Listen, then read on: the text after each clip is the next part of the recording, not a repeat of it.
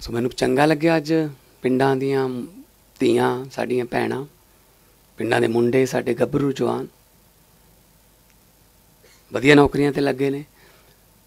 ਮੈਨੂੰ ਦੱਸਿਆ ਸਾਡੇ ਐਜੂਕੇਸ਼ਨ ਮਿਨਿਸਟਰ ਨੇ ਬੀਰੋ ਕੇ ਪਿੰਡ ਹੈ, ਮਾਨਸਾ ਜ਼ਿਲ੍ਹੇ 'ਚ। ਸਾਡੇ ਪਿੰਡਾਂ ਦੇ ਨੇੜੇ ਹੈ ਉੱਥੋਂ ਦਾ ਇੱਕ ਮੁੰਡਾ ਕੈਨੇਡਾ ਚਲਾ ਗਿਆ ਸੀ ਸਟੱਡੀ ਵੀਜ਼ੇ ਤੇ। ਜਨਵਰੀ 2023 ਚ ਹੁਣ ਉਹਨੂੰ ਵੇਟਿੰਗ ਲਿਸਟ ਤੋਂ ਹੁਣ ਛੱਡ ਕੇ ਆ ਗਿਆ। ਟੀਚਰ ਬਣਿਆ ਜੀ। ਕੈਨੇਡਾ ਚਲਾ ਗਿਆ ਸੀਗਾ ਸਟੱਡੀ ਵੀਜ਼ੇ ਤੇ ਤੇ ਜਦੋਂ ਉਹਨੂੰ ਨੌਕਰੀ ਮਿਲ ਗਈ ਤਾਂ ਉੱਥੋਂ ਕੈਨੇਡਾ ਛੱਡ ਕੇ ਇੱਥੇ ਵਾਪਸ ਆ ਗਿਆ। ਇਹ ਗੱਲ ਮੈਂ ਕਹੀ ਸੀ ਪਹਿਲਾਂ ਵੀ ਕਿ ਰਿਵਰਸ ਮਾਈਗ੍ਰੇਸ਼ਨ ਸ਼ੁਰੂ ਹੋਊਗੀ। ਵਿਰੋਧੀ ਪਾਰਟੀਆਂ ਮਜ਼ਾਕ ਉਡਾਉਂਦੀਆਂ ਸੀ। ਲੈ, ਕਿਉਂਕਿ ਉਹਨਾਂ ਨੇ ਤਾਂ ਕਦੇ ਇਹ ਕੰਮ ਕੀਤਾ ਨਹੀਂ ਨਾ ਜੀ।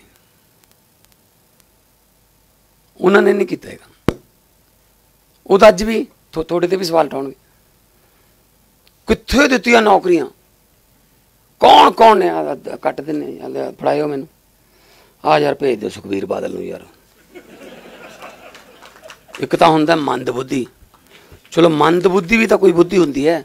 ਉਹ ਤਾਂ ਬੰਦ ਬੁੱਧੀ ਹੈ। ਬਸ। ਆ ਸਾਰਾ ਲਿਸਟ ਪਈ ਹੈ। ਅਕਾਲੀ ਦਲ ਤੇ ਕਾਂਗਰਸੀਆਂ ਦੇ ਪੋਤੇ ਪੋਤੀਆਂ ਨੂੰ ਵੀ ਮਿਲ ਗਈ। ਮੈਂ ਐਵੇਂ ਝੂਠ ਬੋਲ ਦੂੰਗਾ। ਅੱਜ 37934 ਹੋ ਗਏ ਜੀ। 251 ਅੱਜ ਨੇ। ਅੱਜ ਵਾਲੇ ਪਾ ਕੇ 37934 ਹੋ ਗਏ।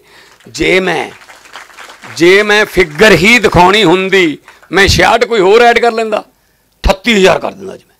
ਕਿਉਂ ਕਰਾਂ ਮੈਂ? ਜਦੋਂ ਮੈਂ ਦੇ ਹੀ ਨਹੀਂ ਰਿਹਾ। ਕਿਸੇ ਦੀ ਲੀਗਲ ਪ੍ਰੋਬਲਮ ਹੈ। ਹਾਈ ਕੋਰਟਾਂ 'ਚ ਕੇਸ ਨੇ। ਮੈਂ ਇਸ ਕਰਕੇ ਨਿਯੁਕਤੀ ਪੱਤਰ ਨਹੀਂ ਵੰਡਣ ਆਇਆ ਕਿ ਤੁਸੀਂ ਮੇਰੀ ਫੋਟੋ ਖਿਚਾਓਗੇ ਮੇਰੇ ਨਾਲ। ਮੈਂ ਇਸ ਕਰਕੇ ਆਇਆ ਕਿ ਤੁਹਾਡਾ ਸਾਰਾ ਕੁਝ ਅਸੀਂ ਕਲੀਅਰ ਕਰਕੇ ਹਾਈ ਕੋਰਟ 'ਚੋਂ ਦੇ ਕੇ ਆਇਆ ਤੁਸੀਂ ਜਾ ਕੇ ਕੁਰਸੀਆਂ ਤੇ ਬੈਠੋ। ਨਹੀਂ ਤਾਂ ਮੈਂ ਵੰਡ ਦੇਣਾ। ਕਹਿ ਦੇਣਾ ਕੱਲ ਨੂੰ 15000 ਹੋਰ ਨੌਕਰੀਆਂ, ਜਾਓ ਕਚਹਿਰੀਆਂ 'ਚ। ਕੱਲ ਨੂੰ ਕੋਈ ਪੀਆਈ ਲਪਾ ਦੂਗਾ, ਇਹ ਨੌਕਰੀਆਂ ਕਿਵੇਂ ਮਿਲ ਗਈਆਂ? ਚਲੋ ਜੀ, ਕਚਹਿਰੀਆਂ 'ਚ। ਤੁਹਾਨੂੰ ਮੈਂ ਬਿਲਕੁਲ ਪਹਿਲਾਂ ਕਲੀਅਰ ਕਰ ਰਿਹਾ ਕਿ ਤੁਸੀਂ ਕੱਲ ਨੂੰ ਜੌਬ ਤੇ। ਆਪੇ ਇੱਕ ਉਹਦਾ ਸਾਲਾ ਹੈ। ਦਾਜ ਚ ਆਇਆ ਉਹ। ਤੜਕੀ ਉਹ ਲੱਗ ਜਾਂਦਾ ਯਾਰ। ਦੱਸੋ ਯਾਰ, ਤੜਕੀ ਉਹ ਮੇਰੀ ਮਾਂ, ਭੈਣ, ਉਹ ਗਾਲਾਂ ਕੱਢਣ ਲੱਗ ਜਾਂਦਾ। ਕਿੱਥੋਂ ਜਿੱਤੇ ਆਏ ਭਾਈ ਤੂੰ? ਕਿਤੋਂ ਵੀ ਨਹੀਂ ਬਲੱਡ ਕਿਹੜਾ ਡੀਐਨਏ ਕਿਹੜਾ ਜਨਰਲ ਡਾਇਰ ਨੂੰ 13 ਅਪ੍ਰੈਲ 1919 ਨੂੰ, ਕਤਲੇਆਮ ਤੋਂ ਬਾਅਦ ਡਿਨਰ ਕਰਾਇਆ ਸੀ। ਕਰੇ। ਕਤਲੇਆਮ ਤੋਂ ਬਾਅਦ ਇੱਕ ਦਿਨ ਪਹਿਲਾਂ ਕਰਾ ਦਿੰਦੇ, ਮੰਨ ਲੈਨੇ ਆ ਇਹ ਵੀ ਕਹਿ ਸਕਦੇ ਹਾਂ ਕਿ ਸਾਨੂੰ ਕੀ ਪਤਾ ਸੀ ਕੱਲ ਨੂੰ ਆਹ ਕਾਰਾ ਕਰ ਦੂਗਾ। ਕਾਰਾ ਕਰਨ ਤੋਂ ਬਾਅਦ ਆ ਡੀਐਨਏ ਦੱਸਣ ਲੱਗਿਆ ਉਹਨਾਂ ਦਾ ਮੈਂ, ਜਿਹੜੇ ਮੈਥੋਂ ਪੰਜਾਬ ਦਾ ਹਿਸਾਬ ਮੰਗਦੇ ਆ। ਜਨਰਲ ਡਾਇਰ ਨੂੰ ਡਿਨਰ ਕਰਾਇਆ। ਨਾਟ ਓਨਲੀ ਡਿਨਰ ਇਹ ਤੁਹਾਨੂੰ ਪਤਾ ਹੋਣਾ ਚਾਹੀਦਾ ਨਵੀਂ ਪੀੜ੍ਹੀ ਨੂੰ। ਦਰਬਾਰ ਸਾਹਿਬ ਤੋਂ ਸਰੂਪਾ ਵੀ ਦਵਾਇਆ। ਜਨਰਲ ਡਾਇਰ ਨੂੰ। ਨਾਟ ਓਨਲੀ ਸਰੂਪਾ ਮਾਫ ਕਰਵਾਇਆ। ਸਰੋਪਾ ਦੇਣ ਵਾਲੇ ਅਕਾਲ ਤਖਤ ਸਾਹਿਬ ਦੇ ਜਥੇਦਾਰ ਕੌਣ ਸੀਗੇ? ਜਥੇਦਾਰ ਅਰੂੜ ਸਿੰਘ। ਜਥੇਦਾਰ ਅਰੂੜ ਸਿੰਘ ਕੌਣ ਸੀਗੇ? ਸਰਦਾਰ ਸਿਮਰਨਜੀਤ ਸਿੰਘ ਮਾਨ ਦੇ ਸਕੇ ਨਾਨੇ। ਮੇਰੇ ਕੋਲ ਤਾਂ ਚਿੱਠੇ ਪਏ ਨੇ ਇਹਨਾਂ ਦੇ। ਕੱਲਾ ਇਹ ਨਹੀਂ ਫਿਰ। ਅੱਗੇ ਵਾਲੀ ਦੱਸਦਾ ਮੈਂ ਹੁਣ। ਜਿਹੜੀ ਹਜੇ ਤੱਕ ਦੱਸੀ ਨਹੀਂ। ਮੈਂ ਕਹਿੰਦਾ ਸੀ, ਚਲ ਕਾਨੂੰ ਕਾਨੂੰ। ਪਰ ਹੁਣ ਡੂਮਣੇ 'ਚ ਡੜਾ ਮਾਰ ਲੈਂਦੇ ਆ, ਮੈਂ ਕੀ ਕਰਾਂ?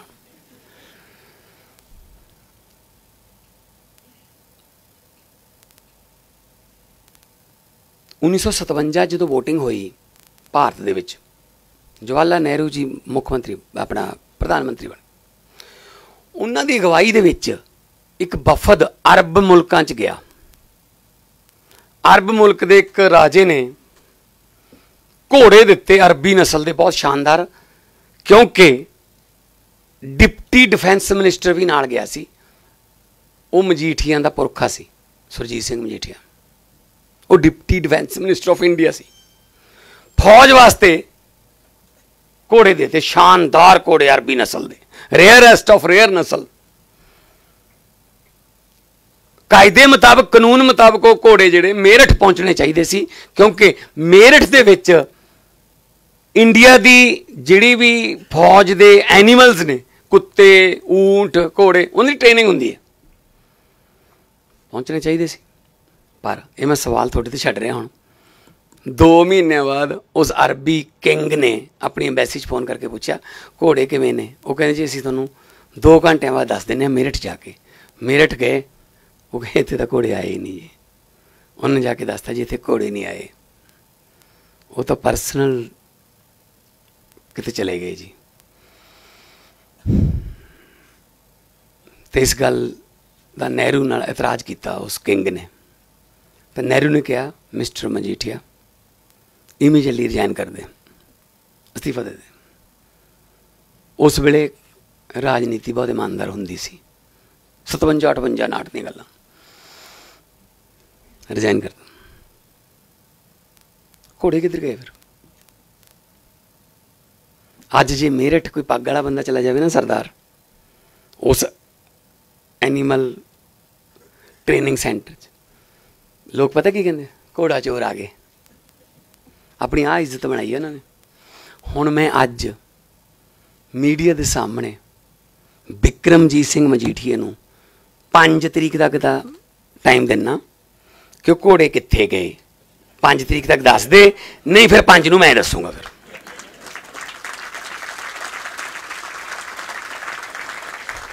ਆ ਡੀਐਨਏ ਹੈ ਆ ਡੀਐਨਏ ਹੈ ਭਗਵੰਤ ਮਾਨ ਤੋਂ ਹਿਸਾਬ ਮੰਗਦੇ ਆ। ਕਿਸੇ ਪੱਖੋਂ ਤਾਂ ਛੱਡ ਦੋ ਯਾਰ। ਕੀ ਕੁਆਲੀਫਿਕੇਸ਼ਨ ਹੈ? ਸਾਲਾ ਹੈ ਬਸ। ਦੱਸ, ਇਹ ਕੁਆਲੀਫਿਕੇਸ਼ਨ ਹੈ ਬਸ। ਹੱਦ ਹੈ। ਉਹ ਸਰ ਸਰ ਦੀ ਪੌਦੀ ਲਈ ਸੀ ਉਸ ਵੇਲੇ। ਸਰ ਦੀ ਉਪਾਧੀ ਅੰਗਰੇਜ਼ ਸਿਰਫ ਆਪਣੇ ਪਿੱਠੂਆਂ ਨੂੰ ਦਿੰਦੇ ਸੀ। ਕੱਲੀ ਕੱਲੀ ਗੱਲ ਪਈ ਹੈ। ਸੱਚਾਂ। ਇੱਥੋਂ ਬੋਲਦਾ। ਚੱਲ 5 ਤਰੀਕ ਤੱਕ ਜਵਾਬ ਦੇ ਦੇ। ਘੋੜੇ ਕਿੱਧਰ ਗਏ? ਮੈਨੂੰ ਪਤਾ ਘੋੜੇ ਕਿੱਥੇ ਗਏ। ਪਰ ਮੈਂ ਉਹ ਤੋਂ ਪੁੱਛਦਾ ਵੀ ਆਪ ਹੀ ਮੰਨ ਜਾਏਗਾ, ਵਧੀਆ ਰਹੇਗਾ। ਨਹੀਂ, ਤੜਕੀ ਬਹਿ ਜਾਂਦਾ। ਮੇਰੀ ਮਾਂ ਨੇ ਕੰਨ 'ਚ ਕੀ ਪਾਇਆ ਹੋਇਆ ਜੀ? ਇਹ ਚੁੰਨੀ ਕਿਉਂ ਲਈ ਹੋਈ ਹੈ ਜੀ? ਯਾਰ ਹੱਦ ਹੈ ਯਾਰ। ਬਸ ਇਹੀ ਨਹੀਂ ਚਰਿਆ ਜਾਂਦਾ ਯਾਰ। ਕਿ ਸਤੌਜ ਪਿੰਡ ਦਾ ਇੱਕ ਆਮ ਘਰਾਂ ਦਾ ਮੁੰਡਾ ਕੁਰਸੀ ਤੇ ਕਿਉਂ ਬਹਿ ਗਿਆ ਬਸ। ਆਹੀ ਨਹੀਂ ਚਲੇ ਜਾਂਦਾ ਇਹਨਾਂ ਇਹ ਕੁਰਸੀਆਂ ਸਾਡੇ ਵਾਸਤੇ ਬਣੀਆਂ ਸੀ। ਇਹ ਸਾਰਿਆਂ ਨੂੰ ਨੌਕਰੀਆਂ ਦੇਈ ਜਾਂਦਾ, ਇਹ ਤਾਂ ਲਟਾਈ ਜਾਂਦਾ, ਇਹ ਤਾਂ ਲੋਕਾਂ ਨੂੰ ਲਟਾਈ ਜਾਂਦਾ ਪੰਜਾਬ। ਮੈਂ ਤਾਂ ਲੋਕਾਂ ਨੂੰ ਲਟਾਉਂਗਾ। ਲੋਕ ਟੈਕਸ ਦਿੰਦੇ ਨੇ, ਮੈਂ ਟੈਕਸ ਦਾ ਪੈਸਾ ਤੁਹਾਨੂੰ ਵਾਪਸ ਦੇਵਾਂਗਾ ਤੁਹਾਡੀਆਂ ਤਨਖਾਹਾਂ ਦੇ ਰੂਪ 'ਚ, ਬਿਜਲੀ ਦੇ ਬਿੱਲਾਂ ਦੇ ਰੂਪ 'ਚ। ਇਹਨਾਂ ਨੂੰ ਹੋਰ ਕੋਈ, ਇਹਨੂੰ ਹੋਰ ਕੋਈ ਦਿੱਕਤ ਨਹੀਂ। ਬਸ ਇਹ ਗੱਲ ਤੋਂ ਹੈ ਇਹ ਯਾਰ ਕਿਉਂ ਬਹਿ ਗਿਆ? ਆਮ ਘਰਾਂ ਦਾ ਮੁੰਡਾ ਆ ਕੇ ਇੱਥੇ। ਹੋਰ ਕੋਈ ਲੈਣਾ ਦੇਣਾ ਨਹੀਂ। ਲੋਕਾਂ ਨੇ ਹਰਾਤੇ ਜਨਾਬ। ਸਾਰੇ ਹਰਾਤੇ ਯਾਰ। ਮੇਰੀ ਕੀ ਔਕਾਤ ਹੈ? ਮੈਂ ਮੈਂ ਮੇਰੀ ਔਕਾਤ ਹੈ ਕੋਈ? ਲੋਕਾਂ ਨੇ ਕੀਤਾ ਸਾਰਾ ਕੰਮ। ਤੇ ਲੋਕਾਂ ਦੇ ਫਤਵੇ ਨੂੰ ਤੁਸੀਂ ਮੰਨਦੇ ਕਿਉਂ ਨਹੀਂ? ਨਾ ਜੀ। ਅਜਾ ਸਾਲੇ ਜੀਜੇ ਦੀ ਆਪਸ ਨਹੀਂ ਬਣਦੀ। ਉਹ 12 ਵਜੇ ਪ੍ਰੈਸ ਕਾਨਫਰੰਸ ਕਰਦਾ, ਉਹ 2 ਵਜੇ ਕਰਦਾ। ਚਲ ਐ ਕਰ, ਦੋਨੇ ਸਾਜ ਜੀਜੇ ਇਕੱਠੇ ਪ੍ਰੈਸ ਕਾਨਫਰੰਸ ਕਰਕੇ ਦਿਖਾਓ, ਮੰਨ ਜੂਗਾ ਮੈਂ। ਕਿਉਂਕਿ ਘਰੇ ਪੰਗਾ ਪਿਆ ਪਿਆ ਉਹ ਤਾਂ ਹੁੰਦਾ ਹੀ ਹੈ ਹਰੇਕ ਕਰੇ ਹੁਣ। ਭੈਣ ਉਹਦੇ ਨਾਲ ਹੈ, ਭਰਾ ਨਾਲ। ਜਿਉਣਾ ਤਾਂ ਉੱਪਰ ਕਰ ਰੱਖਿਆ ਸੁਖਵੀਰ ਬਾਦਲ ਦਾ। ਮੈਂ ਪ੍ਰਧਾਨ ਬਣਾ ਸਾਨੂੰ।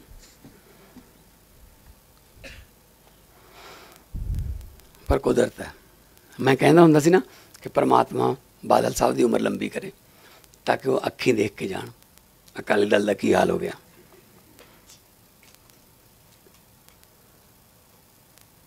ਮੈਂ ਹੁਣ ਉਸ ਬੰਦੇ ਨੂੰ ਲੱਭਦਾ ਫਿਰਦਾ। ਜਿਹੜਾ ਕਹਿੰਦਾ ਬੰਦੇ ਦੇ ਨਾਲ ਕੁਝ ਨਹੀਂ ਜਾਂਦਾ। ਮੈਂ ਉਹਨੂੰ ਸਵਾਲ ਕਰੂੰਗਾ, ਕਿਉਂ ਨਹੀਂ ਜਾਂਦਾ? ਪ੍ਰਕਾਸ਼ ਸਿੰਘ ਬਾਦਲ ਅਕਾਲੀ ਦਲ ਲੈ ਤਾਂ ਗਿਆ ਨਾਲ ਹੀ। ਗਿਆ, ਖਤਮ ਹੈ ਕੰਮ। ਇੱਕ ਇੱਕ ਕਿਤੇ ਵੋਟ ਪੈ ਜੇ ਮੈਂ ਕਹਿ ਦੂੰਗਾ। ਮੈਂ ਨਹੀਂ ਕਹਿੰਦਾ ਮੈਨੂੰ ਪਾਓ। ਭਾਈ ਤੁਸੀਂ ਦੱਸੋ ਨਾ। ਆ ਕੁੜੀ ਕਹਿੰਦੀ ਸੀ, ਉਹਨਾਂ ਨੇ ਐ ਨਹੀਂ ਕੀਤਾ, ਇਹਨਾਂ ਨੇ ਐ ਨਹੀਂ ਕੀਤਾ। ਉਹ ਉਹਨਾਂ ਇਹਨਾਂ ਕੌਣ ਸੀ? ਇਹੀ ਸੀ? 25 ਸਾਲ ਤੋਂ ਇਹੀ ਸੀਗੇ। ਖੈਰ, ਉਹਨਾਂ ਦੀ ਆਤਮਾ ਨੂੰ ਸ਼ਾਂਤੀ ਬਖਸ਼ੇ ਪਰਮਾਤਮਾ। ਕਹਿੰਦੇ ਵੀ ਤੁਰਗਿਆਂ ਦੀ ਕੋਈ ਨਿੰਦਾ ਨਹੀਂ ਕਰਦੇ। ਸਾਨੂੰ ਇੰਨੇ ਕੁ ਤਾਂ ਸਿਖਾਏ ਨੇ ਸਾਡੇ ਬਜ਼ੁਰਗਾਂ ਨੇ ਐਟੀਕੇਟਸ ਪਰ ਐਦਾਂ ਵੀ ਨਹੀਂ ਇੰਨਾ ਵੀ ਨਹੀਂ ਚੱਲ ਸਕਦੇ ਅਸੀਂ ਕਿ ਤੁਸੀਂ ਹਰ ਰੋਜ਼ ਉੱਠ ਕੇ ਕੋਈ ਬਿਨਾਂ ਵਜ੍ਹਾ ਤੋਂ ਕੋਈ ਗੱਲ ਨੌਕਰੀਆਂ ਦੇਤੀਆਂ, ਕਿਉਂ ਦੇਤੀਆਂ, ਕਿ ਕਿਹੜੇ ਡਿਪਾਰਟਮੈਂਟ 'ਚ ਦੇਤੀਆਂ, ਕਿੱਥੋਂ ਦੇਵੋਗੇ ਤਨਖਾਹ? ਤੁਸੀਂ ਕੀ ਲੈਣਾ ਵੀ ਇਸ ਗੱਲ ਤੋਂ? ਅਸੀਂ ਦੇਵਾਂਗੇ ਤਨਖਾਹ। ਅਸੀਂ ਦੇਵਾਂਗੇ ਬਿਜਲੀ ਦੇ ਬਿੱਲ ਜ਼ੀਰੋ। ਅਸੀਂ ਅਸੀਂ ਬਣਾਵਾਂਗੇ ਸਕੂਲ ਆਫ ਐਮੀਨੈਂਸ ਅਸੀਂ ਖੋਲਾਂਗੇ ਆਮ ਆਦਮੀ ਕਲੀਨਿਕ। ਅਸੀਂ ਕਰਾਵਾਂਗੇ ਤੀਰਥ ਯਾਤਰਾ। ਤੁਸੀਂ ਕੀ ਲੈਣਾ? ਜੋ ਤੁਹਾਨੂੰ ਕਰਨਾ ਹੀ ਨਹੀਂ ਆਉਂਦਾ ਇਹ ਕੰਮ, ਤੁਸੀਂ ਆਪਦੇ ਹੋਟਲ ਢਾਬਿਆਂ ਦੀ ਗੱਲ ਕਰੋ। ਉਹਨਾਂ ਦੀ ਵਾਰੀ ਆ ਰਹੀ ਹੈ। ਆਉਣ ਵਾਲੇ ਦਿਨਾਂ 'ਚ ਤੁਹਾਨੂੰ ਹੋਰ ਖੁਸ਼ਖਬਰੀਆਂ ਮਿਲਣਗੀਆਂ। ਨਵੇਂ ਸਾਲ 'ਚ ਕਿ ਜਿਹੜੀਆਂ ਤੁਹਾਡਾ ਖੂਨ, ਤੁਹਾਡਾ ਇੱਕ ਇੱਕ ਪੈਸਾ ਟੈਕਸ ਦਾ, ਤੁਹਾਡੇ ਮਾਂ ਪਿਓ ਦਾ, ਤੁਹਾਡਾ ਬਜ਼ੁਰਗਾਂ ਦਾ, ਇੱਕ ਪੈਸਾ ਲੁੱਟ ਕੇ ਜਿਹੜੀਆਂ ਇਹਨਾਂ ਨੇ ਜਾਇਦਾਦਾਂ ਬਣਾਈਆਂ ਨੇ ਅਟੈਚ ਕਰਕੇ ਪਬਲਿਕ ਨੂੰ ਦੇਵਾਂਗੇ ਵਾਪਸ। ਨਹੀਂ ਤਾਂ ਫਿਰ ਕਾਦੇ ਮੁੱਖ ਮੰਤਰੀ ਬਣੇ ਫਿਰ? ਆਏ ਗਏ, ਇਹ 'ਚ ਕਿਹੜੀ ਗੱਲ ਹੈ? ਕੁਛ ਤਾਂ ਕਰ ਜੀਏ ਨਾ ਫਿਰ ਜਨਰੇਸ਼ਨ ਵਾਸਤੇ। ਕੁਛ ਤਾਂ ਨਵਾਂ ਕਰੀਏ ਨਾ ਫਿਰ ਲੋਕਾਂ ਵਾਸਤੇ।